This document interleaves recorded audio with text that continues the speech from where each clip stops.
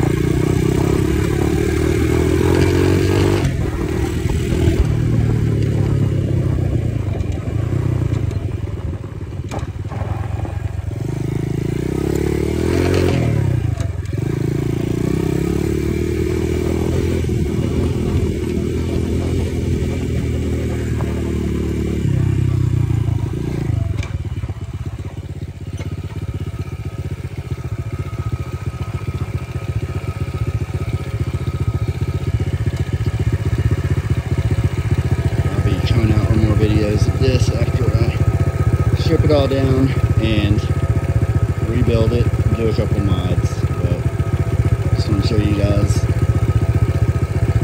that I took this bike and turned it into something fun.